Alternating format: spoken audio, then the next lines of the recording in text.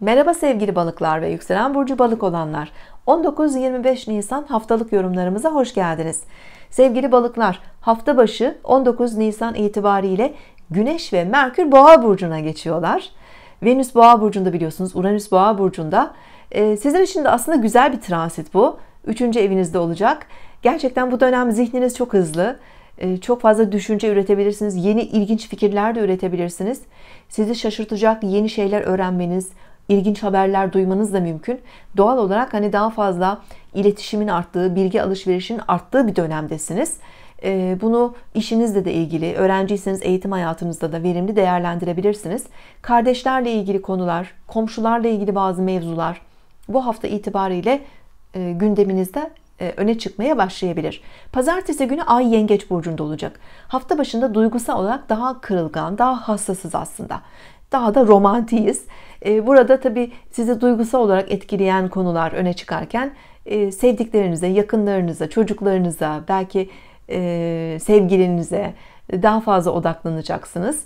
Bireysel anlamda da kendinizi ifade edebileceğiniz böyle becerilerinizi, el becerilerinizi ya da yeteneklerinizi gösterebileceğiniz hobilerle de ilgilenebilirsiniz.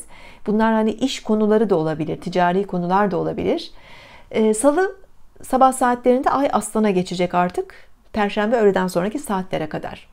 Bu iki buçuk günlük süreç içerisinde e, daha çok ilginiz, odağınız tabi sorumluluklara yöneliyor. Biraz iş temponuz artacak gibi görünüyor. Çalışıyorsanız mesleğinizle ilgili konular, e, evdeyseniz evde yapılacak işler, biraz detaylar öne çıkacak. E, sağlık konuları, kontrolleri, bakımları olabilir. Evcil hayvanlarınızla ilgili konular olabilir. Biraz yoruluyoruz ama birçok işle de ilgileniyoruz. Perşembe öğleden sonra Ay artık Başak Burcu'na geçecek. Cuma ve Cumartesi Ay Başak Burcu'nda olacak. Ee, biraz daha romantik konulara yönelmeye başlayacağız.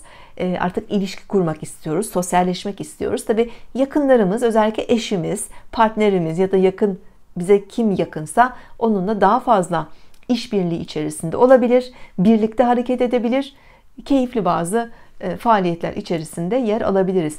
İşle de ilgili ortaklıklar, işbirlikleri, bazı anlaşmalar, sözleşmeler, yasal konularda tabi özellikle Perşembe, Cuma, Cumartesi gündeminizde olabilir ve bunlarla da ilgili son derece detaylı incelemeler yapabilir.